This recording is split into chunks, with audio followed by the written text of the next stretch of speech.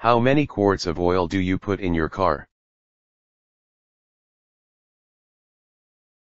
Most engines require anywhere between 5 to 8 quarts of oil, depending on your car's engine size.